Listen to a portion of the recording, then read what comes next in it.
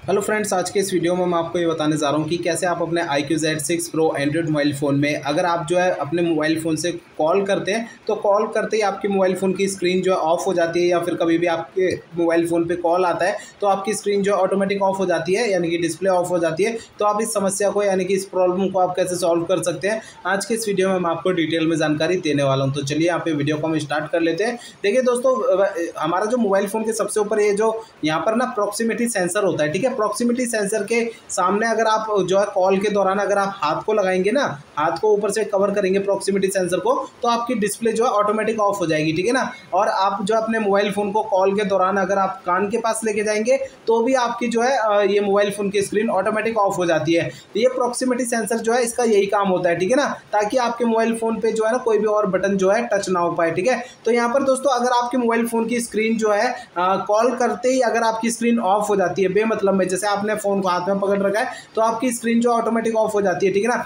तो इसके लिए एक सॉल्यूशन है। देखिए दोस्तों, आपको ये मोबाइल फ़ोन का जो स्क्रीन प्रोटेक्टर है ना, इसे आपको चेक करना है और आपका प्रोक्सीमिटी सेंसर भी यहाँ पे चेक कर लेना है। यहाँ पे कोई डैमेज नहीं होना चाहिए, या फिर आपका स्क्रीन प्रोटेक्टर जो है वो स्क्रीन प्रॉक्सिमिटी सेंसर के ऊपर चढ़ा हुआ नहीं होना चाहिए, या फिर आपका जो स्क्रीन प्रोटेक्टर जो है, वो आपका क्रैक नहीं होना चाहिए, यानी कि डैमेज नहीं होना चाहिए। कई बार ऐसा होता है, हमारा स्क्रीन प्रोटेक्टर जो है वो डैमेज हो जाता है, जिसकी वजह से हमारा प्रोक्सीमिटी सेंसर जो है उसको ये लगता है कि सामने की तरफ़ कोई ऑब्जेक्ट है, इसलिए वजह से वो स्क्रीन ऑफ़ या ऑन हो जाती है, ठीक है ना? तो यहाँ पर दोस्तों ये जो है ना आपको ये स्क्रीन प्रोटेक्टर को आपको चेंज कर लेना है, ठीक है ना? तो दोस्तों इससे आपकी जो है स्क्रीन के ऑफ़ की प्रॉब्लम जो आपकी सॉल्व हो जाएगी जब भी आप कॉल करते हैं तो ठीक है ना? तो यहाँ पर दोस्तों आपको जो है ना, एक तरीका और बताता हूँ। देखिए दोस्तों आपके मोबाइल फ़ोन में ना कभी भी सॉफ्टवेयर अपडेट आता है सिस्टम का अपडेट आता है तो आप कई सारे लोग जो है सिस्टम के अपडेट को जो है अपडेट नहीं करते हैं, जिसकी वजह से भी ये जो है समस्या आ जाती है। तो आपको अपना सिस्टम अपडेट करके रखना है। अगर आपका सिस्टम अपडेट है या नहीं है, या आपको चेक कैसे करना है, मैं आपको समझाता हूँ।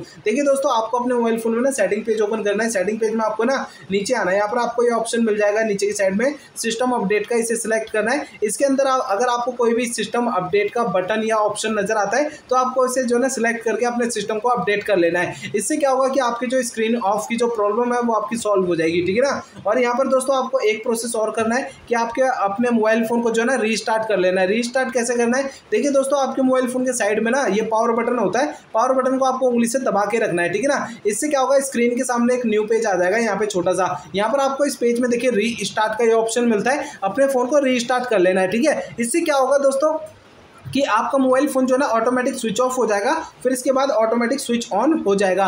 रिस्टार्ट करने से क्या होता है दोस्तों कि आपके मोबाइल फ़ोन के एंड्रॉइड सिस्टम में अगर कोई प्रॉब्लम होती है छोटी मोटी वो दूर हो जाती है। जैसे आपका मोबाइल फ़ोन हैंग करता है नेटवर्क की प्रॉब्लम होती है, काफ़ी सारी ऐसी दिक्कतें दूर हो जाती है फ़ोन को रिस्टार्ट करने से, ठीक है? तो आप अपने फ़ोन को रिस्टार्ट कर लीजिए। और आपको जो है ना लास्ट में एक प्रोसेस करना है। अगर आपको ज़रूरत लगे तो आपको अपने मोबाइल फ़ोन को जो है ना रीसेट कर लेना है, ठीक है ना? अगर आपका जो है ये सारे प्रोसेस करने के बाद भी अगर समस्या ठीक नहीं होती है तो आपको आपको अपने फ़ोन को एक बार जो है रीसेट करना है। रीसेट कैसे करना है? देखिए, आपको अपने मोबाइल फ़ोन में ना सेटिंग पेज ओपन करना है। सेटिंग पेज में आपको सबसे नीचे ये ऑप्शन मिल जाएगा सिस्टम का। सिस्टम के ऑप्शन पे सिलेक्ट करना है। अब सिस्टम के अंदर आपको ये ऑप्शन मिलता है रीसेट ऑप्शन इसे सिलेक्ट करना है। इसके अंदर आपको ये ऑप्शन मिल जाता है erase all data factory reset इसे आपको सिलेक्ट करना है। इसके अंदर आपको नीचे की साइड ये ऑप्शन मिलता है इरेज ऑल डेटा ये, इसे आपको टैप कर देना है बटन को। इससे क्या होगा? आपका फ़ोन जो है ना रीसेट हो जाएगा।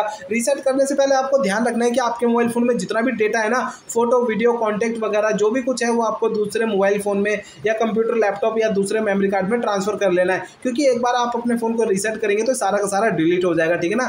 तो आपको अपनी जी मेल और अपना पासवर्ड भी लिख के रख लेना है, ठीक है? तो यहाँ पर जो आप अपने फ़ोन को दोबारा से लॉग कर सके उसी जी मेल से, ठीक है? अगर दोस्तों आप अपने मोबाइल फ़ोन में ये जो आपका ये जो ऑप्शन होता है ना बैकअप एंड रीस्टोर का, ये पीछे पेज पाएँगे सिस्टम के इस पेज में, आपको बैकअप एंड रीस्टोर का ये ऑप्शन आपको ऑन कर लेना है। ये सेटिंग ऑन कर लेनी है। इसके बाद आप जो है ना, अपने फ़ोन को रीसेट करेंगे ना तो आपको अपना डेटा किसी भी दूसरे डिवाइस में ट्रांसफ़र करने की ज़रूरत बिल्कुल भी नहीं पड़ेगी, ठीक है? जिससे आपका जो डेटा है वो आपकी जी मेल आई लॉग इन करते ही वापस सारा का सारा आ जाएगा, ठीक है ना? तो ये मैंने आपको बता दिया, इससे आपकी जो है स्क्रीन ऑफ़ की प्रॉब्लम जो है वो सॉल्व हो जाएगी फ़ोन को रीसेट करने से, ठीक है? और आपको जो है ना ये सारे प्रोसेस करने के बाद भी अगर आपकी जो दिक्कत है वो प्रॉब्लम जो है वो सॉल्व नहीं होती है तो आपको करना क्या है कि आपके IQ मोबाइल की कंपनी का जो सर्विस सेंटर होता है ना IQ मोबाइल की जो सर्विस सेंटर होता है, वहाँ पर आपको अपने फ़ोन को दिखा देना है, ठीक है? वहाँ पर वो आपको बता देंगे कि आपके जो है फ़ोन में क्या दिक्कत है और कैसे ठीक होगी, ठीक है ना? तो ये लास्ट ऑप्शन बचता है आपको अपने आई मोबाइल के सर्विस सेंटर जाने के लिए, ठीक है?